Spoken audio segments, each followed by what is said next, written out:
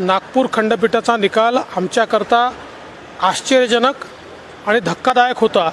मला या गोष्टीचं समाधान आहे की माननीय सर्वोच्च न्यायालयाने मुंबई उच्च न्यायालयाच्या नागपूर खंडपीठाने साईबाबाच्या संदर्भात दिलेला निकाल हा सस्पेंड केलेला आहे.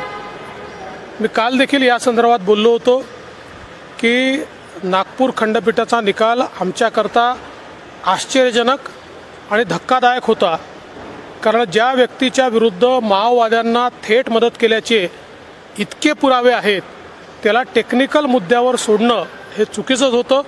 म्हणून कालच्या काल आम्ही सर्वोच्च न्यायालयात धाव घेतली. सर्वोच्च न्यायालयाचे देखील आभार आहेत की त्यांनी तात्काळ बेंच गठीत केला आणि त्या बेंचनं आज हा ऑर्डर सस्पेंड केलेला आहे. त्याच्यामुळे निश्चितपणे आता पुढची कायदेशीर लढाई आम्ही लढू.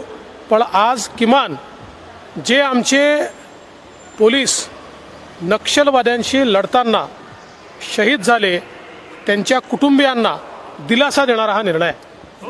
आज सुप्रीम कोर्ट ने बॉम्बे हाईकोर्ट के, नागपुर बेंच के उस निर्णय को स्थगित कर दिया, सस्पेंड कर दिया, जिसमें माओवादियों से संबंध रखने वाले, उनको मदद करने वाले प्रोफेसर साई बाबा को एक्विट किया गया था।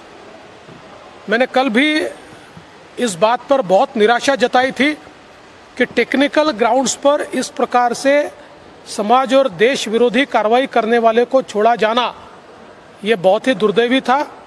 लेकिन इस बात का मुझे बहुत समाधान है कि सुप्रीम कोर्ट ने हमारी बात सुनी।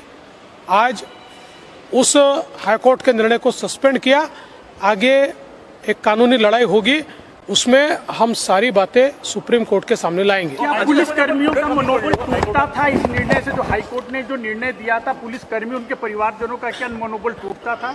निश्चित ही जो हमारे पुलिसकर्मी शहीद हुए ऐसे पुलिसकर्मियों के परिवार के लोगों के लिए ये बहुत ही क्लेशकारक था कि जो लोग उनकी शहादत के लिए मौत के लिए जिम्मेदार है ऐसे लोग टेक्निकल कारणों से छूट जाए।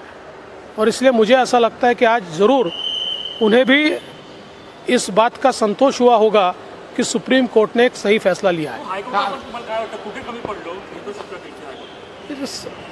आपण कुठेच कमी पडलो नाही।